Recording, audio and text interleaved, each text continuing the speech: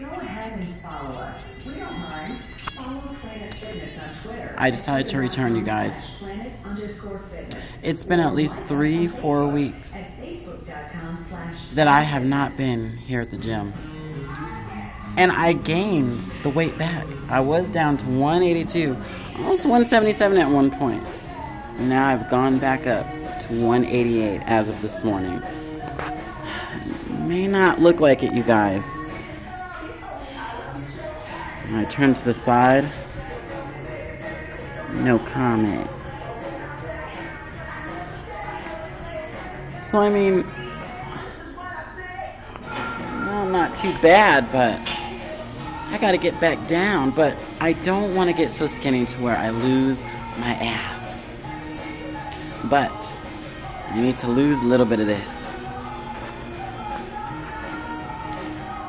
Alright, you guys, I gotta get back. I have like nine more minutes in my dancing, so